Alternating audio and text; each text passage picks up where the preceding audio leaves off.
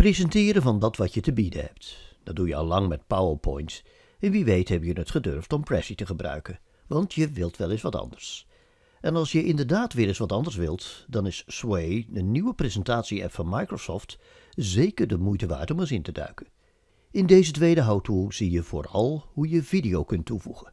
Ik ben gesurfd naar Sway en log in via aanmelden. Rechtsboven klik ik op Mijn Sways.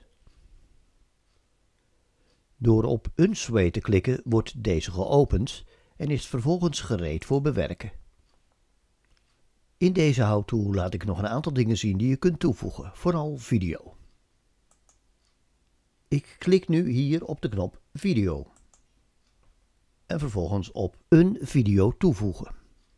Je ziet dat er direct op YouTube wordt gezocht en dat er verschillende groepen worden voorgesteld.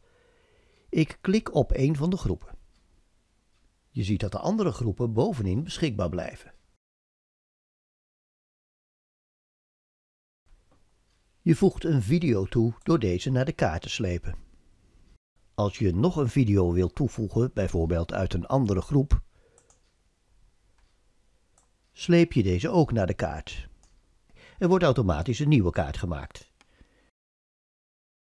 Via de opties kun je ook hier de grootte bepalen. En ook hier kun je een bijschrift toevoegen.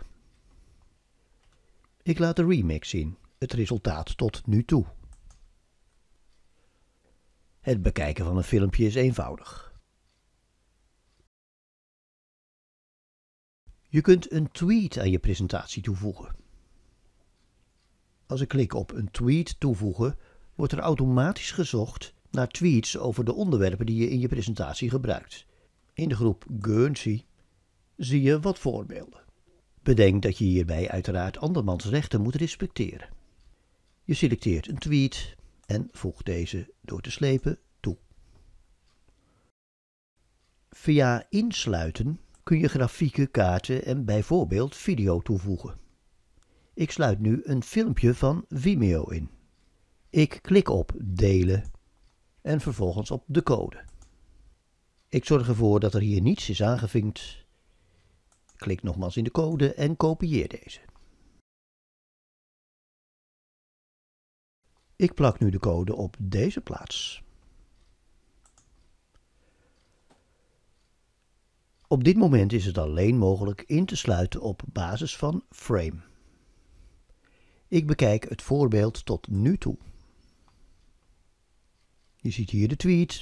Je ziet ook dat de video van Vimeo is toegevoegd.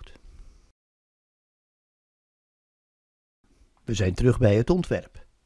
Hier kun je een andere navigatie kiezen.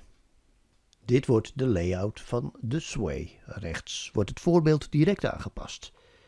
En je ziet dat er binnenkort meer layout beschikbaar is. Tot zover deze tweede how-to over Sway. Meer in de volgende how-to.